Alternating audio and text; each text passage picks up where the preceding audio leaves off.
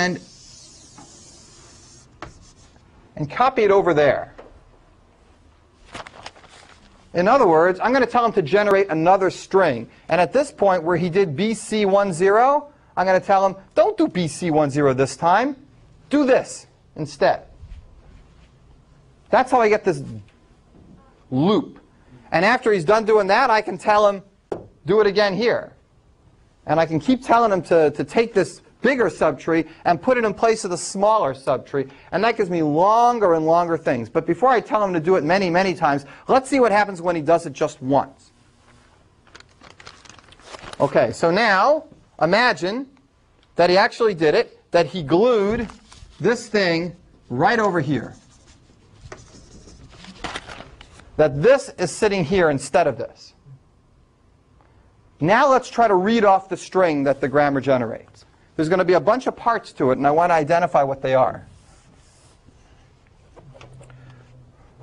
Let me put it, uh, put it here.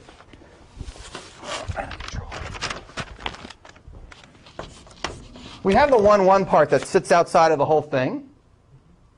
And we have the 0, 1 part that sits outside of the whole thing on the other side. So 1, 1, and I'll put 0, 1 here.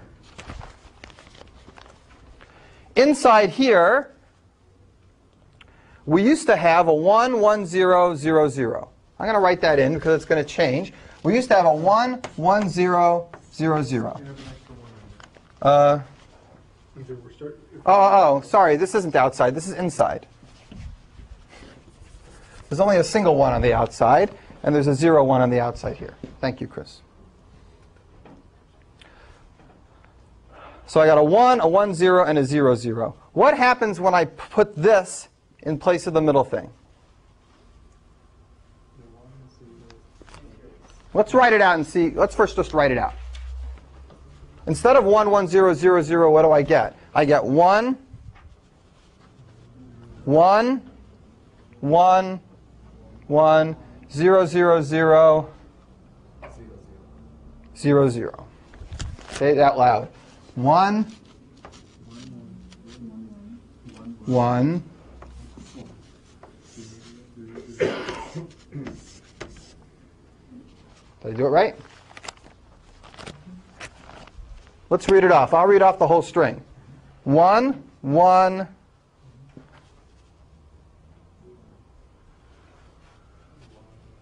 one, one, zero, zero, zero, zero, zero, zero, one. Let me stop for a second. Does everybody see what I'm doing? I'll do it again. We're taking out this piece and we're putting this piece in its place. Right? And now we're reading the new string that it generates. So there's 1, 1 on the outside, followed by 1, 1, 0, 0, 0, followed by 0, 0, 0, 1. Right? What happened when we did this? Let's identify things that stayed the same and things that changed.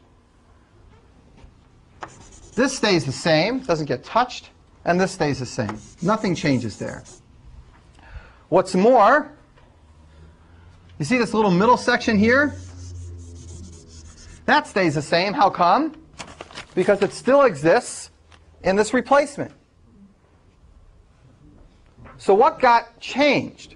This part here, the left part of the big piece, not the middle part, not the part that's under the duplication, but the left part, that got doubled.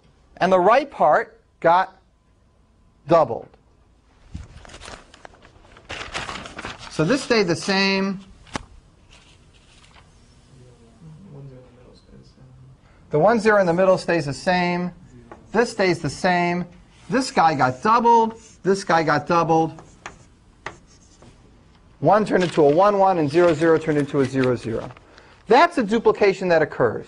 It's not obvious when you stare at it until you actually do it once and watch the substitution and check. But if we did it again, the same thing would happen, except this would turn into triple ones, and this would turn into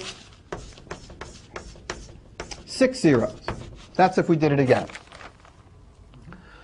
So this is a different kind of pumping, but it's pumping nevertheless. Instead of there being one loop in the middle that gets pumped an arbitrary number of times, there are two loops on either side of a fixed spot in the center, and those two loops get pumped simultaneously an arbitrary number of times.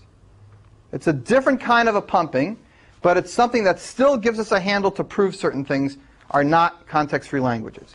We're going to do examples of this. We're going to write it up formally and try to finish this whole topic before we are done today. So let me stop for a second. The logic so far is really important to, to get it down. And after this, it's going to become more, more mechanical and more example-oriented. So let me stop here for questions. Anything along the way here? It's a little complicated. What can I go over again?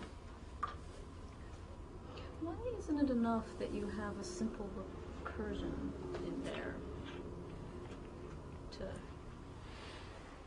You mean that I can go forward, A goes to B something, B goes back to A goes B- something? yeah, or B goes to BA.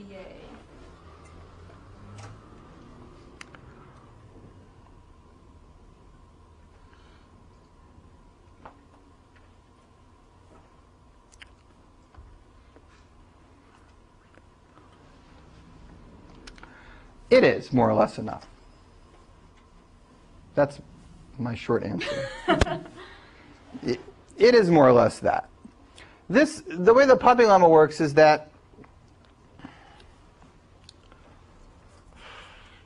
is that you have to have these duplications on any string that's long enough. So just because there's a recursion doesn't mean you have to use that recursion to get a long string.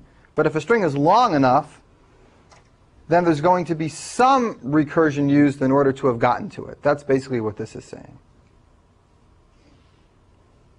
Yeah, but So it is kind of the the same. question is, why isn't the fact that you can recurse, even if on any given string you don't have to, maybe?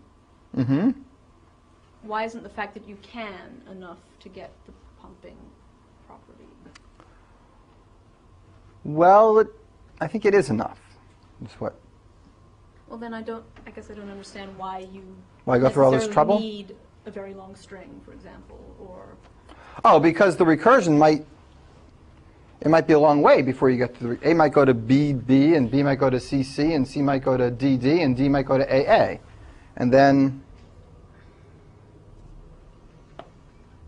and then each of those is going to, it's going to take four steps to get that recursion, but the string you've built in doing that is 16 symbols long. Right? So there's nothing wrong with the way you're thinking of it, except it still implies long strings before you actually hit that recursive loop. If you have something like, right? Yeah. Because each time you go to the next stage, you are got to get rid of all these symbols. so. For the purposes of merely demonstrating anything with this, then you need to think of it that way. Right, but also, well, there's other issues too. It, the way you're thinking of it is you're kind of going forward to find this recursion. So like you would use these two where A doubles for the first time. And I'm kind of going from the bottom. The reason you want to go from the bottom is because, well,